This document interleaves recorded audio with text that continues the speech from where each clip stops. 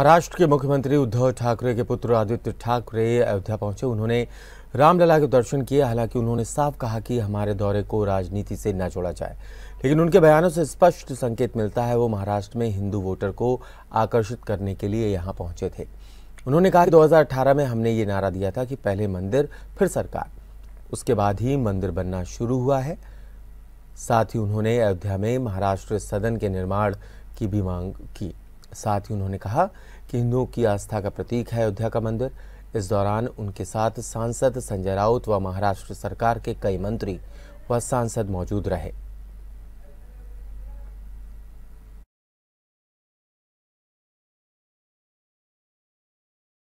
एक पवित्र भूमि है। भारत की आस्था से जुड़ी हुई है और हमारी भी आस्था से जुड़ी हुई है।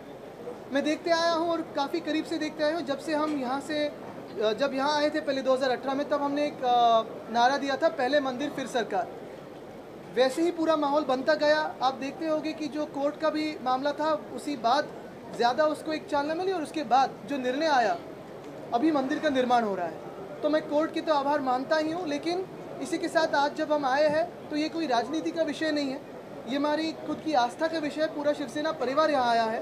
हज़ारों की तादाद में यहाँ आया है। संख्या काफ़ी बड़ी है। ट्रेनें भरकर आई है प्लेन्स है, गाड़ी से लोग आए हैं। यही करने की रामलला का दर्शन लेना है।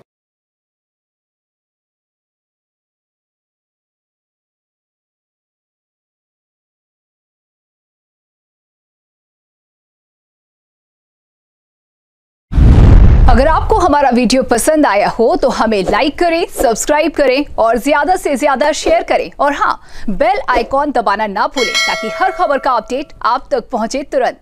आप हमें इंस्टा ट्विटर और फेसबुक पर भी फॉलो कर सकते हैं। हमारी आईडी है at the rate news flash